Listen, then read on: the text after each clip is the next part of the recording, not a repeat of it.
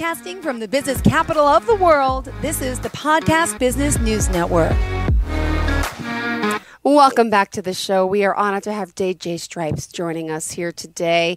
He's here to help focus on, you know, the healing process and helping you get out of victim mentality. He's doing so much for so many.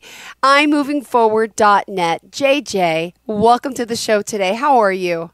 I am wonderful. Thank you for having me here. Well, it's a pleasure to have you. We are so excited to talk to you today about your journey and all the work that you've accomplished. Uh, first and foremost, thank you for being here. And would you mm-hmm. mind just introducing yourself? Tell us a little bit about what you do to start. Well, it it all started. I mean, I've always been the one that, that people come to, but I had a, I do disaster relief, so I was dealing with thousands, I've over a thousand families that have lost everything and storms aren't doesn't happen all, all you know all year long. So while I was off, I got my certifications and I started you know helping others helps me heal. Yeah. Does that make any sense? Of course it does.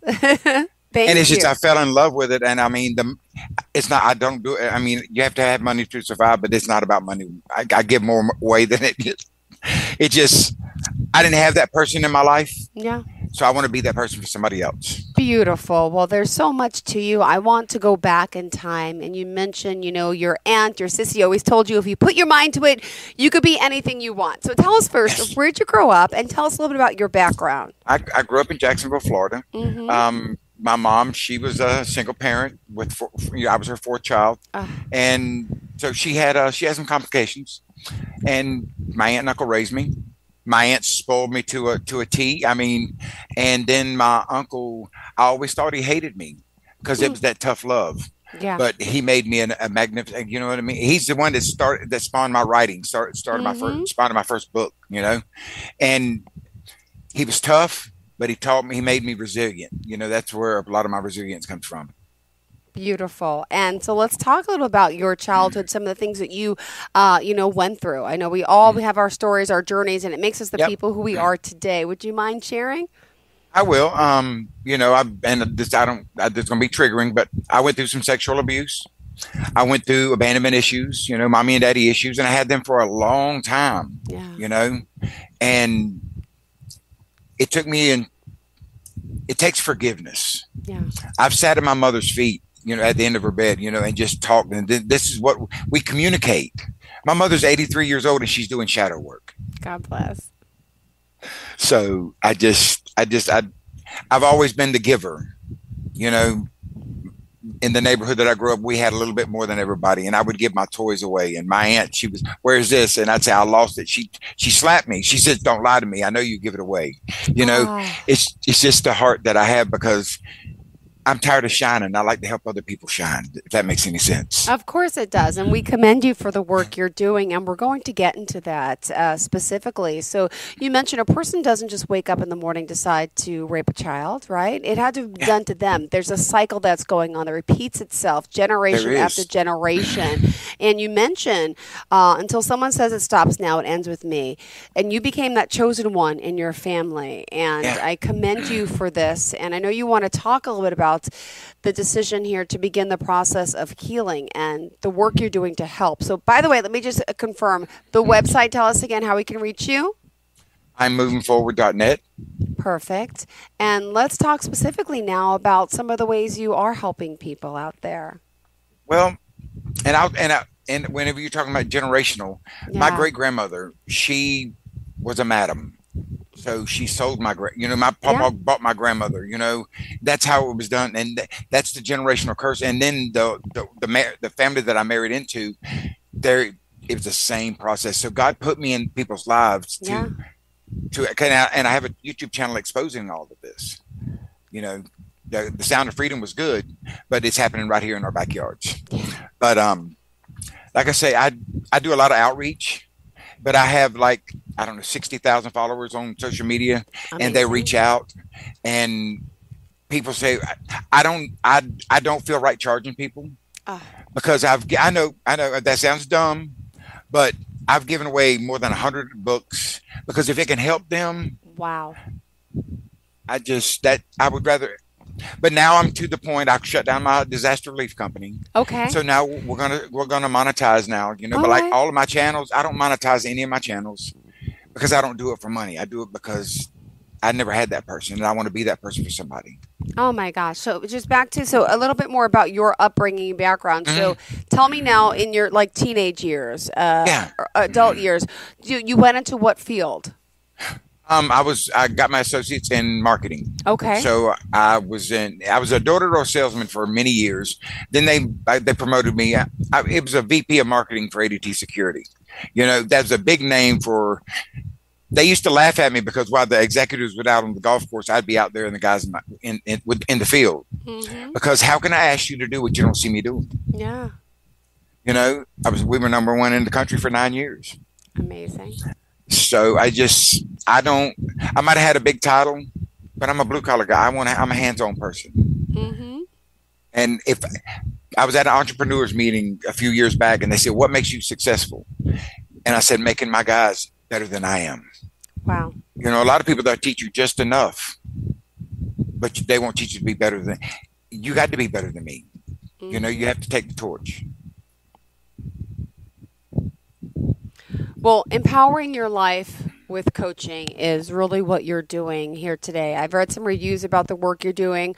You're doing personal development coaching, confidence building, relationship coaching. Uh, there's a lot to you. Where did you want to start? I know this is our first show together. I'm excited to have you here. Yeah. So, if you want to talk more about your background first, or do you want to get started with how you're helping people? I mean, well, whenever you go to a psychologist or a psychiatrist, they're kind of looking down their, their their nose at you in your glass. See, I've lost a child. I've ah. lost a I've lost a, a spouse. Uh, you know, the love of my life. Um, I've been through drug addictions. I've been through prison. You know, and I've been through the my my clients. They can come to me because I relate to them. Yeah. And they can open up whenever you're going into a psychologist or a psychiatrist they're looking down their nose with their degree. They they have never experienced. They've never walked through the, sh- you know, they haven't been out there in the mud and muck. They I've really can't there. empathize. Some can maybe, but a lot of them don't. They, you're right. Exactly. They have that education, that book work, that's true, but they never went through it. They never dealt with sexual abuse. They never dealt with drug addiction. Exactly. Normal things that uh, you and, and I the abandonment issues. Exactly. People, I call it mommy and daddy issues. These days they call it abandonment issues. But yeah. we all have some kind of trauma from our child that affects how we act today. Yeah. Because a person, they people they're triggers and they don't understand their triggers yeah. you know? But boundaries was my first self step of self-love. Yeah. That was my third book that i wrote boundaries unveiled. Because a person will only treat you how you allow them to treat you. Yeah.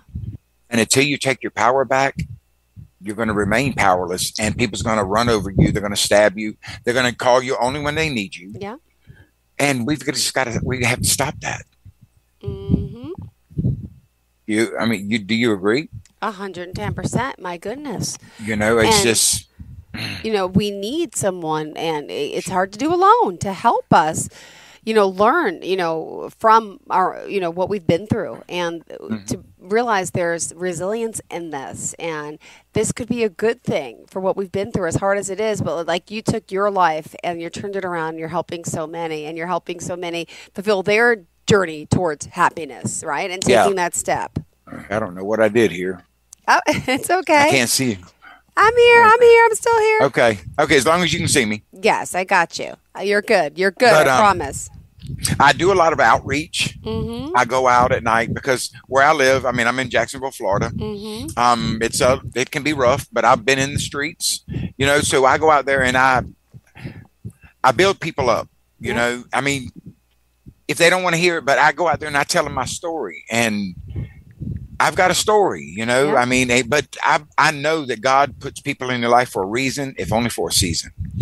You know, everything happens for a reason, but every person that you encounter in life, you have to learn from them, or they're going to learn from you. So I try to be the best, and I hate that word "try," but I'm the best. I, I try to be the best me there is. And That's beautiful, and we all should, and we all should have a chance. Now, you know, just don't take your word for it. I mean, let me, because uh, I'm going to ask you some personal experience of people you've helped, but I also was reading some testimonials. And for example, I have Sarah W. here who says, After weeks of feeling unsure, I am moving forward brought clarity. Their confidence building service was life changing. My doubts have disappeared, and now I navigate life with newfound confidence. Frank G says, Struggling with heartache. I turn to I am moving forward. Their supportive coach coaching really helped me understand my patterns, manage my emotions, grow in confidence, I now feel empowered and hopeful in my romantic journey. Uh, someone yeah. else here, Susan, was uh, having career issues, was stuck in a rut, and went to use your career coaching services, and the change was phenomenal.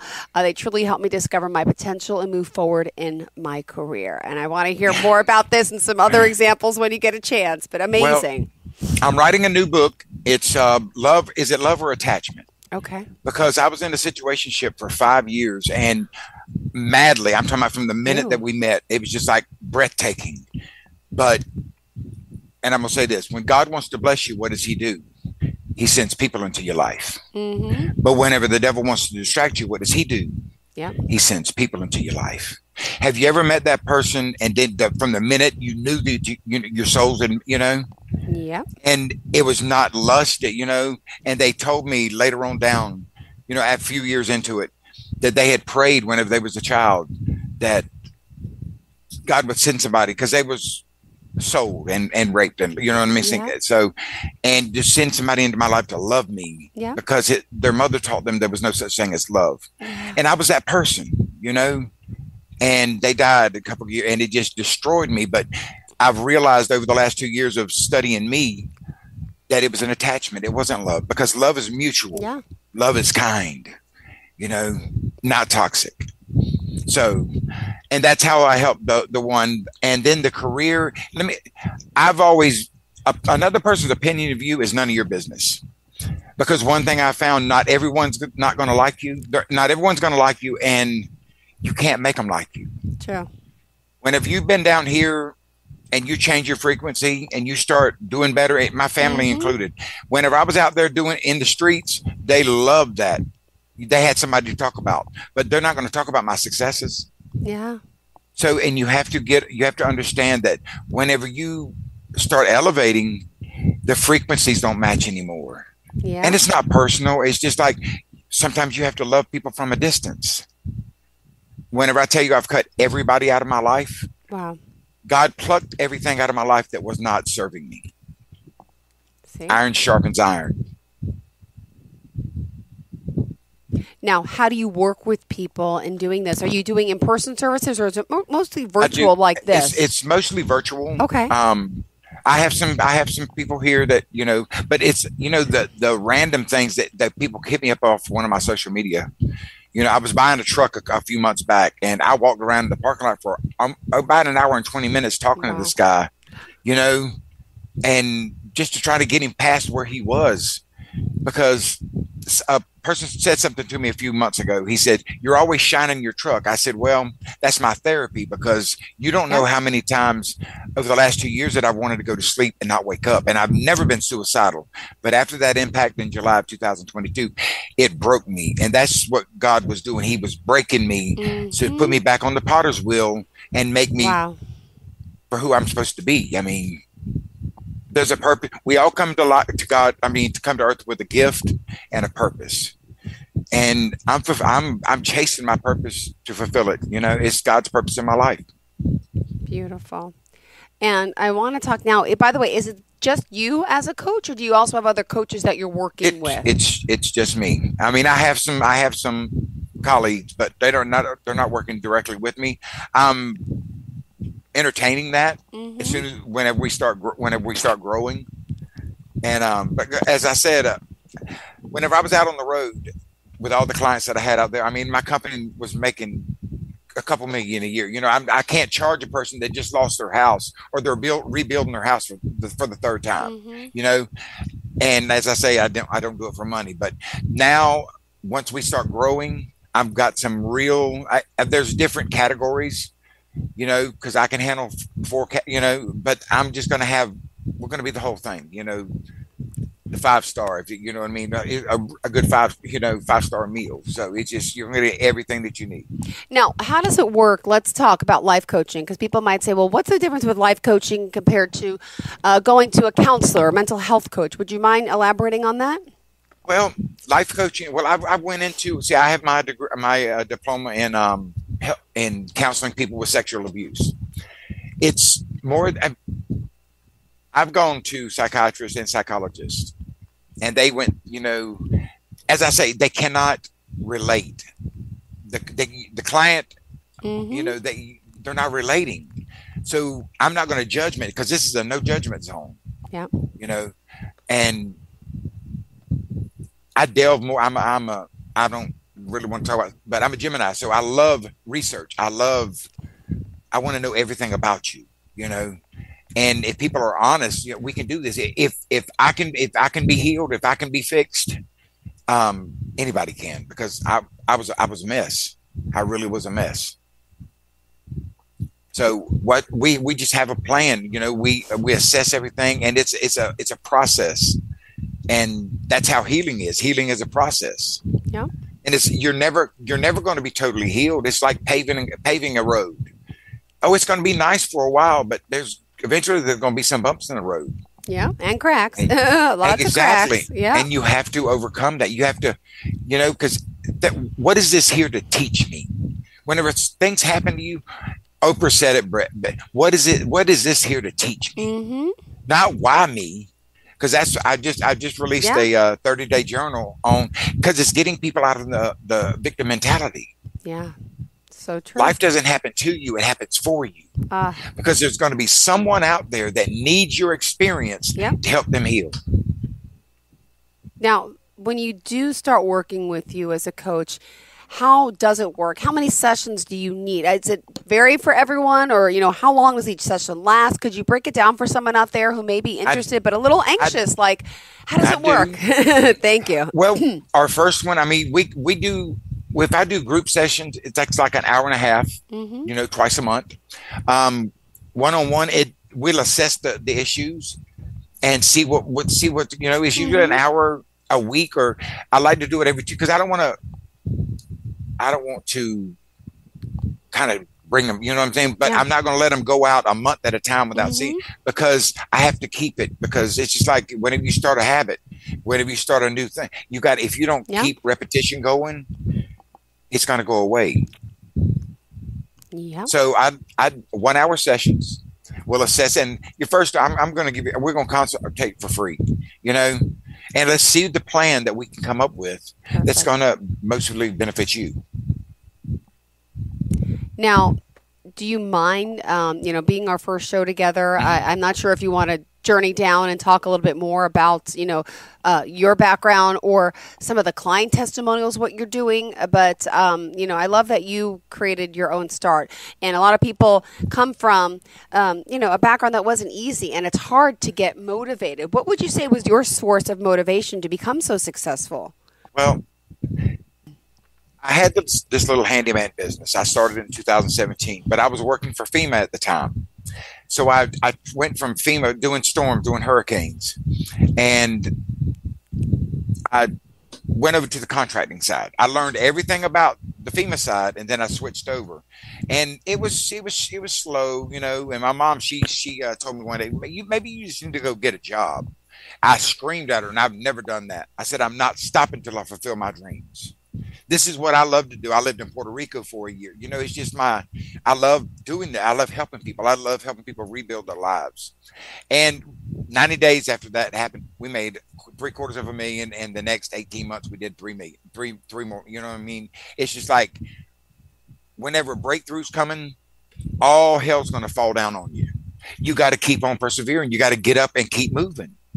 You know, whenever things start falling, whenever you whenever you're working on something and things starts falling apart, mm-hmm. know that mm-hmm. that's the devil because he knows what the breakthrough he knows you're coming you know he knows what your purpose is you got to keep on persevering and the way my uncle treated me growing up i got to the mindset if I washed his truck, he would always find a place. If I, if I stacked the wood, it was always wrong. I beat him at I started beating him at his own game. So I said, You're not going to beat me. So I'm going to be the best of the best. And in everything that I've done since, whether it was sports, I've been the best. And that's what you have to do. You have to take your power back. And so many times, um, you know, people uh, can be resilient. Uh, you can be changed, and you gotta, you know, remind everyone who's out there listening today who could be struggling because you also, um, you know, with your help and your, your, coaching, your guidance, you've saved many lives. Could you share a story or two or three? Um, I have. Um, I had a guy. They were, they had, they went through the same thing. They're, they were, they were addicts, and they were on fentanyl, and his other half died, and he was just giving up. And I've stayed with that guy in the in the evenings, made sure he went to sleep. You know, I've locked him in his when we locked his his parents live on on the same property, but we locked his car down. You know, so he couldn't get out, but he he fell a couple times more. We got him into rehab and then I was going over there every couple days to, to, see, you know, because he never had that father, he never had that big brother. He was an only child. He was spoiled, and we kept him. And now he's doing his own outreach. He's going to uh, he's going to to, his, to the Bible college. He wants to be a minister now. And I have another guy. He works at the gym. He's a big muscle muscle guy, but he's got a very soft voice and he's very intelligent but if you wouldn't know it, you would think he would be in the LGBT. You know, that's that's you, he don't come off like that, but he's so soft and humble. And I tell him, I said, and he's not that way. But I said, do you know you're the, these guys out here that always have to think they have to be tough because they worry about what other people think about them. And now he's mentoring to the to the people in the hood. You know, does that make any sense to you? Oh, he's a, he's a he's a he's a big muscle bound black guy, but he's got a soft voice. My daddy was six six four. Oh my goodness. Big and, and he but he had a high pitched voice. He was a ordained minister, you know. Wow. And he would pray with you. He would laugh, and but don't ever get the don't ever let the preacher thing fool you, you know. But people think they worry about what other people think. Yeah. Everybody has a gift, and the things that you go through is not to break you, it's to make you, because there's going to be somebody in your path throughout life that needs you that's not as strong as you. Oh yeah, and you have to empower them. Yep. And you see I, what, oh, go, ahead. go ahead. You see what the world's going, what, what we're going through right now. Yeah. Look what look! I, I, just can't believe the world is the way it is in such turmoil, and to have you know the shooting the other night, and it's just like, what is? Why are we all so divided? What, what's happening here? I, I don't do politics, but whenever they whenever he got into office, I said, "What that?"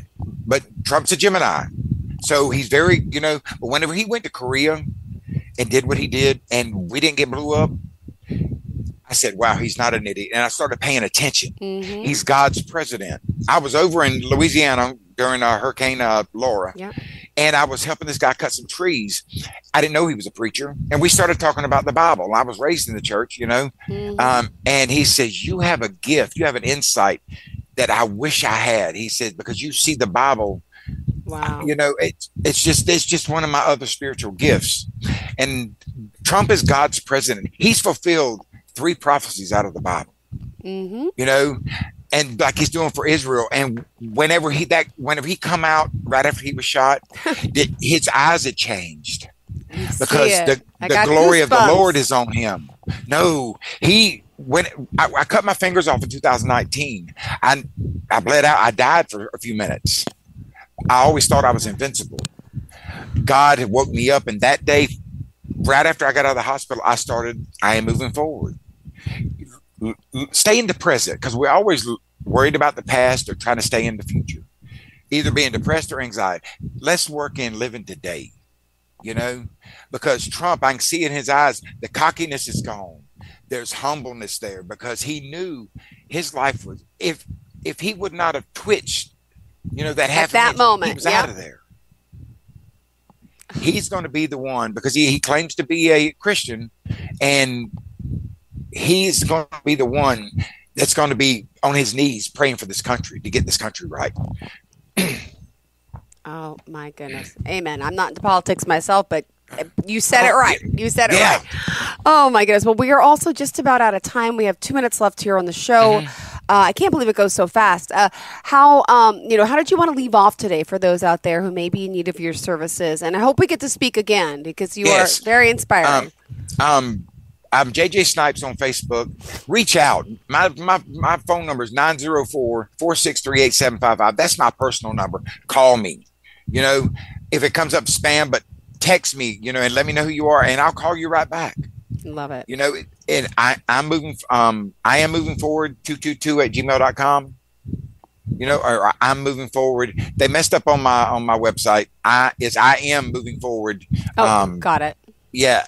At G, I mean, at, uh, I am moving forward.net. Perfect. From there, we can find you and contact exactly. you, read your reviews exactly. and all you've done and all that you're doing. Um, thank uh, you so much for being here. It's been a pleasure. All my books are. I give you all my links because people journaling has it's helped change my life. Uh, there's a couple journals in there. Yeah. One for sexual abuse. People, you know, so get it. You know, and if you can't afford it, reach out to me and I'll send you one.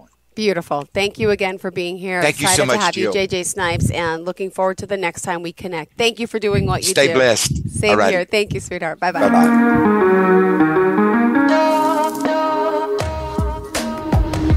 Broadcasting from the business capital of the world, this is the Podcast Business News Network. Of course, my kid's in the right car seat. Well, I think he is.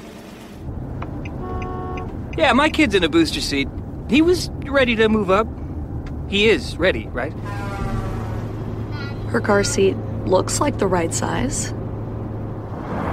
There are probably rules on when to move up to a booster seat, aren't there? Rear facing, forward facing? I think I have it right. Car crashes are a leading killer of children 1 to 13. Are your children in the right car seat for their age and size? Don't think you know. Know you know.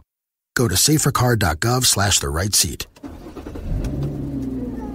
I know my child's in the right car seat, or else I wouldn't get in the driver's seat. Brought to you by the National Highway Traffic Safety Administration and the Ad Council.